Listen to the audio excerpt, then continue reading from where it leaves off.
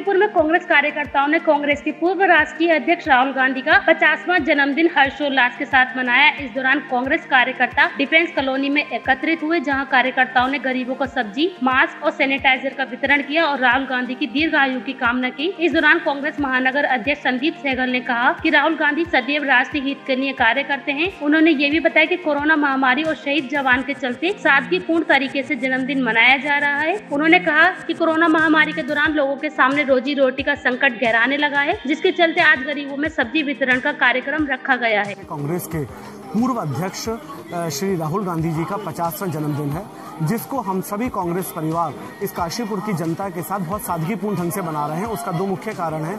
सबसे पहले कोरोना जो कोरोना जो व्याप्त है पूरे विश्व में उसके लिए और दूसरा जो शहीद हुए हैं जवान, इनके लिए हम इस जन्मदिन को बहुत सादगीपूर्ण ढंग से आज इस बस्ती में आके जरूरतमंद लोगों को सब्ज़ी का, फलों का, मास्क और सैनिटाइजर वितरण करके श्री राहुल गांधी जी का जन्मदिन मना रहे हैं और ईश्वर से प्रार्थना करते हैं कि ईश्वर उनको दीर्घायु करे, स्वस्थ रखे और निश्चित रूप से वो हमारे हिंदुस्तान के भविष्य के निर्माता बने। ये हमारी ईश्वर से प्रार्थना है।